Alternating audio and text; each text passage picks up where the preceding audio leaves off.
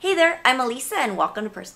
So fall is right around the corner and I know some of us are transitioning from summer into fall and so I wanted to show you a really simple and fun nail tutorial. So what I wanted to do was to take what summer had to offer and bring it into the fall look. So it's like a pre-fall end of summer nail tutorial because during the summer the color block was really hot and now that we're going into fall, we have some really rich purples and some really great heather grays, cement grays, just some creamy colors. So I'm going to use those into a color block nail tutorial. And it's really fun, it's really easy. I like it because it's very discreet and it's very sophisticated yet very fun and fashionable at the same time.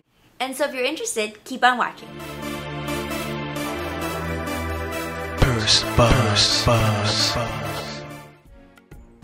You're going to start off the nail tutorial by applying a base to fill in the ridges.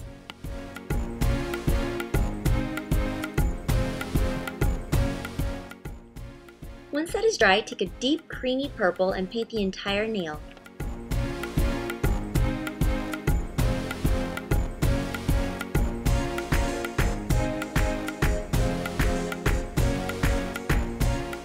Next, take a creamy lighter gray and apply that to half of the nail.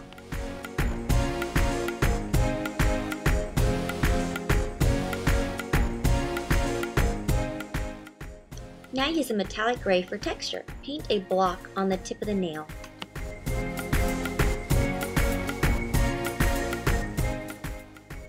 Grab a sheer silver art polish and draw a vertical line down the center.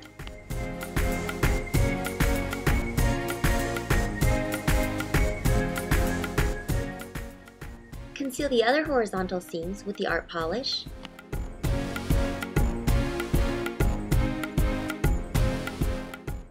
To create balance, apply another line by the base of your nail. Now paint on that top coat to seal the deal.